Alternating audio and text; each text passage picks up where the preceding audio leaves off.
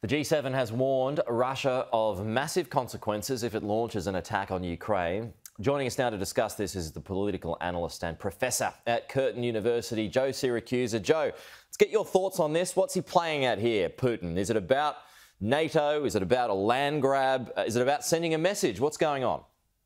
Good morning, Pete. Uh, well, it's unfinished business as far as he's concerned. Look, on Tuesday, I'm President Biden and uh, President Putin went eyeball to eyeball over Ukraine, and President Biden blinked.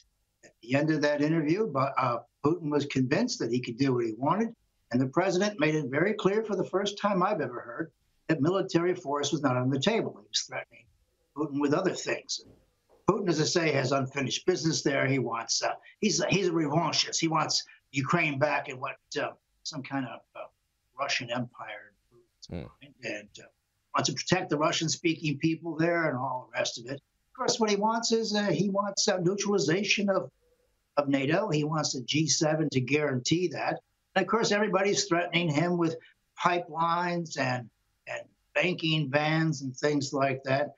Putin couldn't care less about this. Look, Pete, before that phone call, before the G7 met this week, chances mm. of war in the Ukraine were about 50 50. Today, they're about 60%.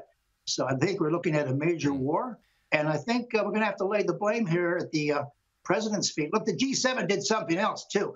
Um, that is, with uh, France has uh, has made it very clear to uh, to President Biden that uh, France and many European countries are not going to be following the so-called diplomatic boycott. This is uh, mm. Macron's first t- chance to stick it to the Americans, the British, and the Australians. He said the, the boycott was insignificant and wouldn't do a damn thing. So what he signaled to the Chinese was is that the French are going their own way on this one. So uh, yeah, all these just, efforts to join. Go ahead. Okay, well, just a couple of points on Russia. I mean, does does does Putin have some legitimate concerns here? I mean, as more countries in the eastern part of Europe turn their attention to NATO, is I mean, is is he within his rights to get concerned about that? Oh, absolutely. Look, um, uh, there was a terrible mistake done after the Cold War, which ended on Christmas Day, uh, 1990. That was the encroachment of NATO on uh, Russia's borders. Uh, every nation that joined the European Union uh, became a member of NATO by uh, automatically, like frequent flyer points. And pretty soon we got up to Ukraine, the last country uh, ne- next to Russia. And so I think Russia has very legitimate, very legitimate concerns. As I like to point out, if the uh, Americans found Russian battalions on the, the boundary of Canada across Niagara Falls or across El Paso, we'd have a war in 10 minutes. So, you know, there are legitimate concerns here. And of course, um, uh, Ukraine is, is angling for membership in the EU when he wants to get get into NATO. I'm afraid that's not yeah. going to happen. Well, uh, just, and just quickly too, would, would, do you reckon it, it, would be an option to switch the gas off? That that, that wouldn't be, would it? To switch the gas off? Yeah. Well, look, um, that would be a very bad idea for this yeah. reason. Number one, there'd be a lot of cold people in Europe this winter. Especially and winter, number two, we would drive Russia right into the arms of uh, China, who will provide them with alternative everything. True. So I, I think that's a very bad idea. But you know, uh, Putin has got a free hand. He's got the green light to do what he wants to do, and so uh, he probably will. Uh, as I yeah. say, the president's had a very bad week in, in the yeah. area. Joe, we'll leave it there. Yeah, no, that was uh, it was um, um, someone who, who, mentioned that the other day. I was reading about turning the gas off, and I thought, oh, well, that's that would be a big call, but um, and also unlikely. G7 ministers have warned Russia of massive consequences and a severe cost if it invades Ukraine. The Kremlin has denied plans to attack and has accused the West of being gripped by Russophobia.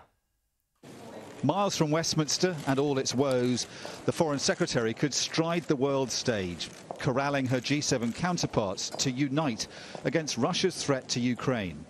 There was a determination, she said, to act with one voice. What we've seen this weekend is very much a united voice from the G7 nations who represent 50 percent of global GDP, being very clear that there would be massive consequences for Russia in the case of an incursion into Ukraine that would carry a severe cost.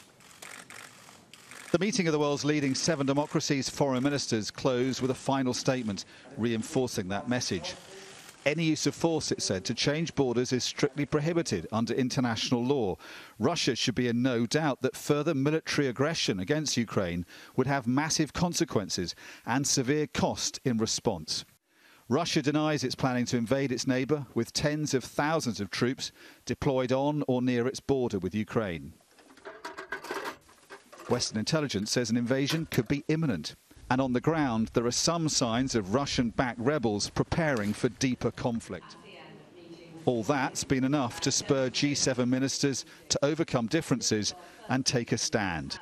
Despite the disunity of recent G7 gatherings, at these meetings we're told there was a steely resolve to stand together and send a clear message to Russia that no country can change the borders of another through force.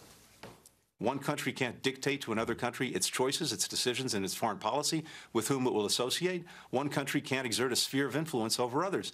That what, that's what Russia is purporting to, uh, to assert. And if we let that go with impunity, then the entire system uh, that pr provides for stability, prevents war from breaking out, yeah. is in danger.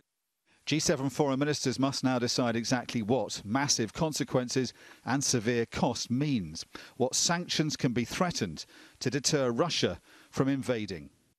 12 people have been injured at a school near Moscow after a teenager allegedly detonated a homemade bomb.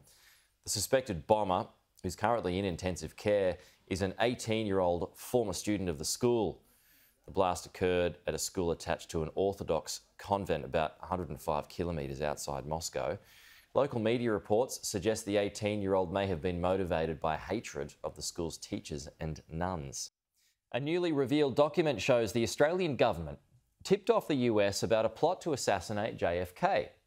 A new release of 1,500 documents from the National Archives in Washington, D.C. reveals this extraordinary piece of history.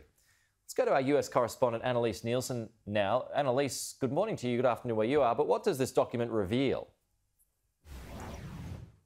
Well, this is a pretty extraordinary document in this trove of 1,500 that have been released by the National Archives. There's been pressure for years for the National Archives to release more documents relating to the assassination of former President JFK. One of the reasons they haven't is because it was deemed so politically sensitive at the time, of course. And so this is why we're learning more. But in these documents, there's one that actually refers to crank calls, as they were described, being made to an Australian Navy official, official in Canberra in 1963. In this report that was passed on to the CIA and revealed in this document, they described someone who said that they were a chauffeur for the Soviet Union. And in that, they've said this individual, while discussing several matters of intelligence interest, touched on the possibility that the Soviet government had financed the assassination of President Kennedy. Reference was made in this cable to the receipt of a similar anonymous call on 15 October 1962. Now, the assessment was that these were crank calls, but passed on as a matter of caution, in that they described that there was $100,000 being paid for a Soviet official to assassinate JFK. Now, it doesn't seem that the US took this seriously either, assessing that this was a crank call as well, but it's certainly adding to the extraordinary fabric of this whole story of the assassination of JFK.